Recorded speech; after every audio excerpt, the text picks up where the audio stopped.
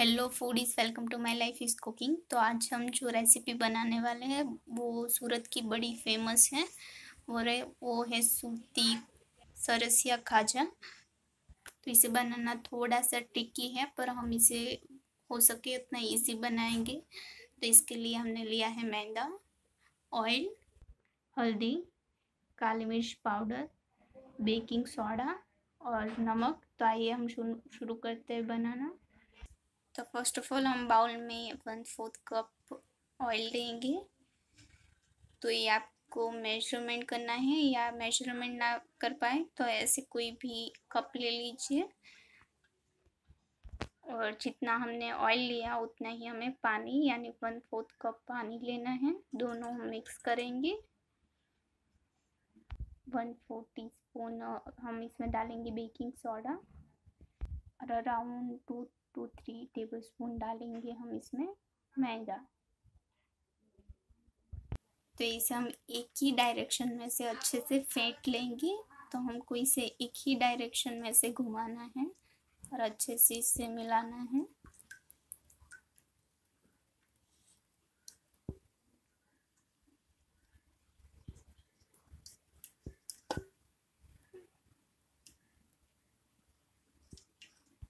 तो वापस में इसमें हम मैदा डालेंगे around three tablespoon one four tablespoon हल्दी हाफ़ टेबल स्पून काली मिर्च का पाउडर तो ये बहुत स्पाइसी होता है।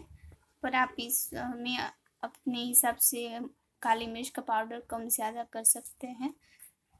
अब हम इसमें डालेंगे नमक, और फिर से हम इसे एक साइड अच्छे से ऐसे मिलाते हुए, अब आटा गूंद लेंगे हम।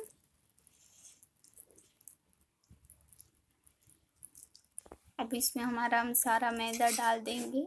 तो हमने एक बड़ा कप जो मैदा लिया था, वो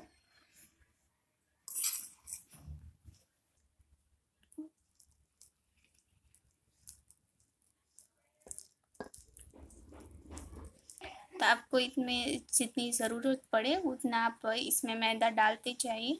तो ये भी उतना सख्त आटा ऐसा नहीं गूंदा हमें सॉफ्ट रखना है, पर इतना भी नहीं। तो हम इसमें और थोड़ा सा मैदा डालेंगे। तो आप ऐसे डालते जाइए और आटा गूंदते जाइए। तो नॉर्मल हमें रोटी के जैसा आटा होता है गूंदा हो, उससे थोड़ा सा सख्त ऐसा रखना है।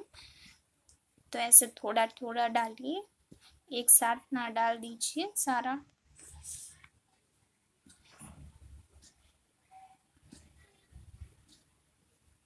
तो हमारा आटा आप देख सकते हैं गूंद कर रेडी है। हमें एक बड़ा कप मैदा इसमें चला गया है और ऐसा हमें रखना है और इसे अब हम अच्छे से तीन से चार मिनट ऐसे अच्छे से मसलना है।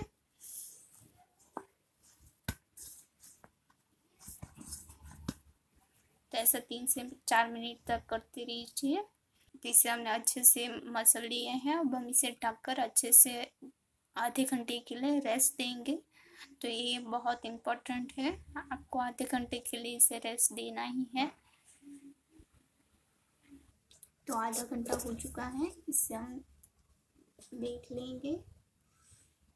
और अब हम आगे की प्रोसेस करेंगे। तो पहले तो हम इसे अच्छे से एक बार मिक्स कर लेंगे।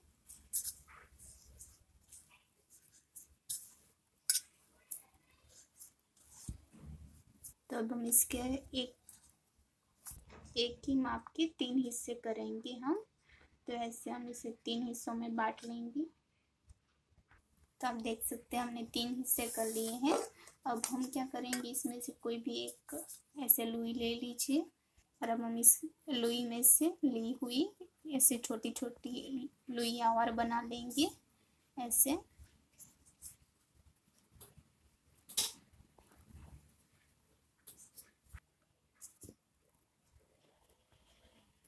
तो आप देख सकते हैं, एक हिस्से की हमने लुइया कर ली है और बाकी के दो हिस्से हमारे पास है। अभी इसे हमें ऐसे ही रखना है, इसके हमें लुइया नहीं बनानी है। हमें सिर्फ़ एक ही हिस्से की ऐसी छोटी छोटी लुइया बना लेनी है। अब हम एक पैन लेंगे, उसमें वन फोर्थ कप पानी डालेंगे। और वो थोड़ा सा ऐसे उबल जाए, उसके बाद में हम इसमें हमारी ये लुइया डालेंगे। तो अभी हमारी लुइया बनाई हुई, हम इसमें डाल देंगे। और अब हम इसे अच्छे से ऐसे पानी के साथ मिक्स करते जाना है। और एकदम ये ड्राई हो जाए हमारा आटा। वैसा बनाना है।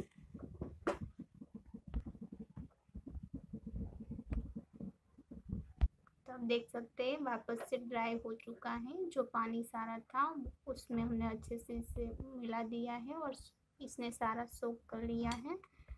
तो अब हम इसे हमारे दूसरे आटे के साथ मिक्स कर लेंगे। इसमें हम डाल देंगे। आपको लग रहा होगा कि ये रेड क्यों है? बिकॉज़ हमने इसमें बेकिंग सोडा डाला हुआ है, इसकी वजह से ऐसा हो गया है। तो अब हम तीनों आटे को अच्छे से साथ में फिर से एक बार अच्छे से मिला लेंगे। और हमें इसमें गरम गरम ही ये आटा है, वो डालना है। अब हम इसे अच्छे से मिला लेंगे। इसे हमने अच्छे से मिक्स कर लिया। आप देख सकते हैं, पहले के जैसा आटा लग रहा है। अब हम इसमें से खाजा बनाएँगे। तो अब हम इसमें से एक छोटी सी लुई लेंगे। तो एक हमने लुई ले ही। अब हम इसे ऐसे हाथों से ऐसे दबाते जाएँगे। तो आप चाहे तो इसे बेल भी सकते हैं और इसे मीडियम थिक हमेशा खाजा बना लेंगे।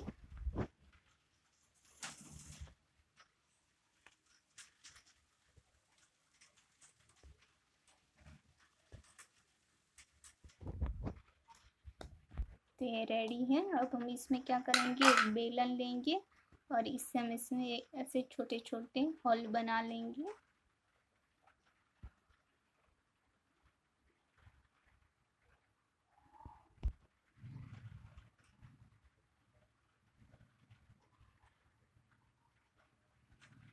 आप देख सकते हैं, ये अब रेडी है। इसे हम एक साइड ले लेंगे।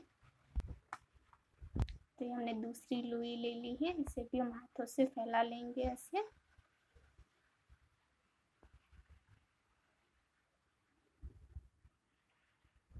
तो क्या आप बेलन ना हो तो ऐसे हाथों से भी बना सकते हैं, आप देख सकते हैं। ऐसे कर लीजिए।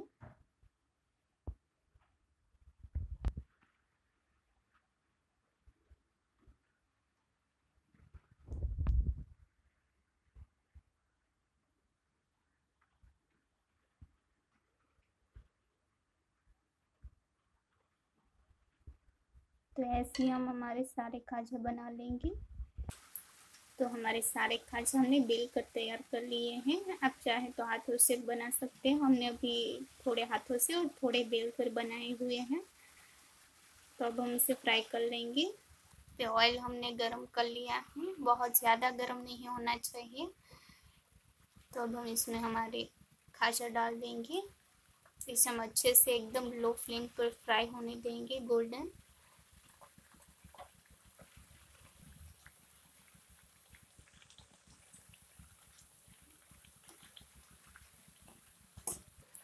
ये हो चुके हैं, इसे हम निकाल लेंगे। अब दूसरे हम फ्राई कर लेंगे। इसे हमें एकदम लो फ्लेम पर अच्छे से फ्राई करना है। तो ये भी हो चुके हैं, इसे हम निकाल लेंगे। और ऐसे ही हम सारे हमारे खाजा फ्राई कर लेंगे। तो हमारे सारे खाजा फ्राई हो चुके हैं और इसे हमने प्लेट में निकाल लिया है। और इसे आमरस या नींबू के साथ खा सकते हैं आप। और आप देख सकते हैं मैंने तोड़ भी लिया था तो इसमें परत वाली है ये और ये क्रिस्पी भी है, आप देख सकते हैं। तो ये सरसिया खाजा की रेसिपी आपको अच्छी लगी हो तो लाइक कीजिए, शेयर कीजिए अपने फैमिली और फ्रेंड्स के साथ और माई लाइफ इस कुकिंग को सब्सक्राइब कीजिए। Thank you for watching.